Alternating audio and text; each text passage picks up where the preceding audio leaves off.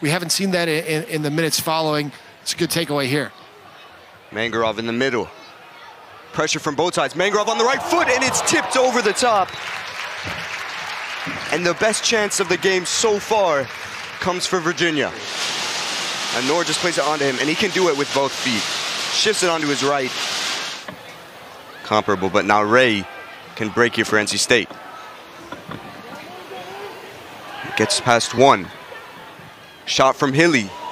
It's just over. And a quick break on the transition.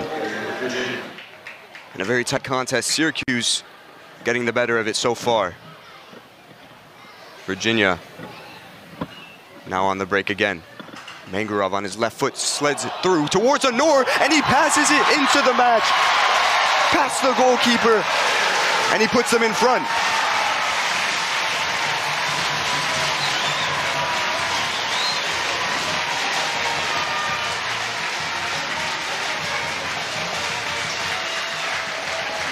No backflip for Annor this time. This is an absolutely absurd pass into Stephen Annor from Daniel Mangarov. The vision from Mangarov just to find this one and slip it through for Stephen Annor. A fantastic finish in the end for the freshman, but you got to give all credit in the world to Danny Mangarov. Cuts inside in the midfield, picks his head up, and just slips the ball past nine NC State players to find an oncoming Stephen Annor. A fantastic Fantastic setup and a clean finish from Stephen Annor to find a goal here in his second consecutive game.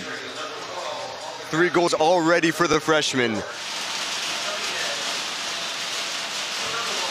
Pella comes short. Mangarov will want this again at the top of the box. Plays the 1-2. Pella trying to find his man. It's Allender at the top, and he smashes it into the back of the net. A volley on his left foot. And it's Gashi And it's a short corner initially, a good one-two there in the corner. Pella puts a good ball in, but this is an absolute banger from Albin Gashi at the top of the box. Just falls to him beautifully in that left foot, and uh, uh, you see a good ball in here. It's the initial header there is a good one out from Kendall Edwards, but it falls straight to Albin Gashi and just so clean from Gashi. Kisses off the, that far post, doubles the lead for Virginia. And whenever you see a ball struck with that power in the NC State wall, Gashi takes this one, curled, back post. If not four to worry about here around him. Mangarov. Crowd urges Gashi to shoot again. Wiese wide, into the middle. Annor is there! And it's a brace for the freshman and a backflip on top of it. What more do you want from the UVA number nine? It's pure entertainment. So well done. And this is a tremendous team goal from Virginia. You see the ball worked wide to Paul Wiese, and time and again tonight, Paul Wiese has done just this. Just puts in just unbelievable service into the box, allowing Stephen Annor to go up, to rise, and to meet this ball. A great header there. No chance for Lucas Hatzius, who's caught in no man's land. And then the trademark backflip from the freshman. We spoke to associate head coach Adam Perron, and he said that Wiese and the new recruit Norris, as well as Parker Sloan, the freshman, have all been rotating at right back. They've been competing with each other, each other and just dragging each other, making each other better. But here's now Ray on the ball into the middle. Hilly is there as well.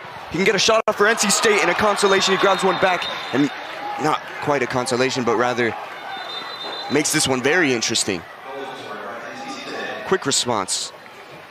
Well, time and again tonight, Junior Nare has been the most effective player for the Wolfpack. You see a good overlap here, good slip from Luke Hilly, and then a really good ball across that just pops back to Hilly, and Luke Hilly is not going to make any mistake inside the box. A poacher's goal, a tremendous finish from Luke Hilly, and, and suddenly it's game on again. That's Hilly's fifth of the season. And at first glance, didn't look like a penalty, but certainly on that replay was potentially a shot for a foul. And Allender Gets the shot on target. It's Islanders on the other side complaining, but that will be it here at Klockner.